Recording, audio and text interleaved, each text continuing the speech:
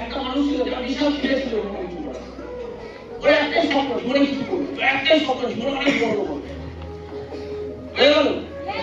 কিছু করতে গেলে তো পয়সা চাই হ্যাঁ একটাই স্বপ্ন প্রচুর বড় হবে। ও কি করেছে একজন বাবার কাছে গেছে, একজন তপস্বী তার কাছে গেছে, তার কাছে গিয়ে বলছে আমি জীবনে চাই আমি আমার পুরো জীবনটাকে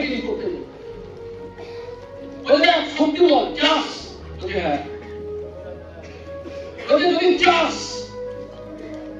তাহলে কিন্তু তোকে ধৈর্যের পরীক্ষা দিতে হবে, বিশ্বাসের পরীক্ষা দিতে হবে। আমি রাজি আছি, আমি চাই আপনি আমাকে উপকার করুন, আপনি আমাকে হেল্প করুন। বলছে, আমি তোকে একটা বরদান দিতে পারি।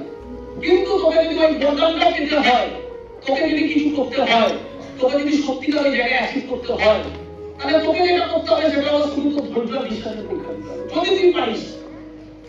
তাহলে আমার বরদান কাজে দেবে গেলে আমি রেডি তখন ওকে দেওয়া একটা পাথর। কি এবং পাথরটা দেওয়ার পরে ওকে শুধু বলা হয়েছে, তোর কাজ হলো তোকে পাথরটাকে সবসময় দেখে একটাই কথা বলে যেতে হবে, একটাই মন্ত্র বলে যেতে হবে মন থেকে। এ পাথর তুই সোনা হয়ে যা, এ পাথর তুই সোনা হয়ে যা, এ পাথর তুই সোনা হয়ে যা। একটা সময় আসবে যেটা ক্লিক করবে এই পাথরটা সোনা হয়ে কিন্তু মাথায় কি? যদি তুই সত্যি চাস তোকে কিন্তু ধৈর্যের আর বিশ্বাসে পরীক্ষা দিতে হবে। ও পাথরটা তো নিয়ে যায় কিন্তু পাথরটা নিয়ে যাওয়ার পরে ও প্রত্যেক দিন এক্সাইটমেন্টের সাথে পাথর পেয়েছে এবারও দেখছে আমার জীবন সামনে আছে এরকম ও Very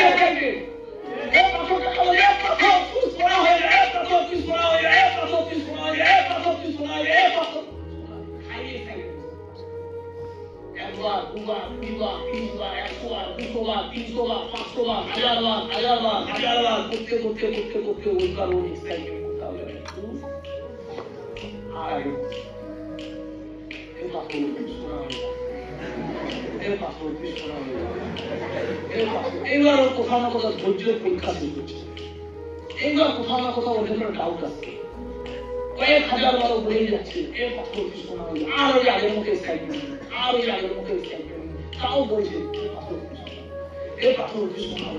এ পাথর সোনা হয়ে বলতে বলতে বলতে বলতে বলতে বলতে যখন ওর পুরো বিশ্বাস শেষ হয়ে গেছে, ধৈর্য শেষ হয়ে গেছে, তখন ওর মাথা গরমে বলে উঠেছে, আরে সোনা হবি না হবি, লোহা তো হয়ে যা।